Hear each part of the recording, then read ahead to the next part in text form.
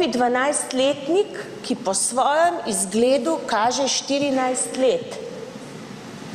Ker prodajalec meni, da je star 24 let in nima razloga, da bi pomislil, nima razloga, da bi pomislil, da je kako drugače, mu pirotehnični izdelek proda.